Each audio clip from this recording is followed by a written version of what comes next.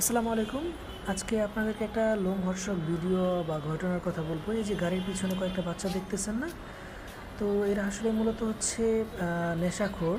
দেখেন কত পিচ্ছি বাচ্চা হ্যাঁ? মানে এটা মানে আপনি দেখলেই আপনার খারাপ লাগবে নিজেরই। যে পিচ্ছি বাচ্চাগুলা আসলে এই নেশা করতেছে।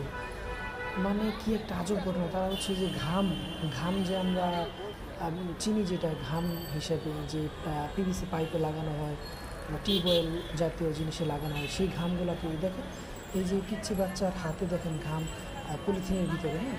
এইগুলো নিয়ে তারা হচ্ছে সেবন করতেছে। আর এই বিষয়গুলো আমাদের কোথায় ঘটতেছে? দেখ- দেখতেই পারলেন যে পুলিশের গাড়ির পিছনে এবং এখানে অনেকগুলো সার্জেন্ট পুলিশও রয়েছে। এই পুলিশের গাড়ির পিছনে দেখতেছেন?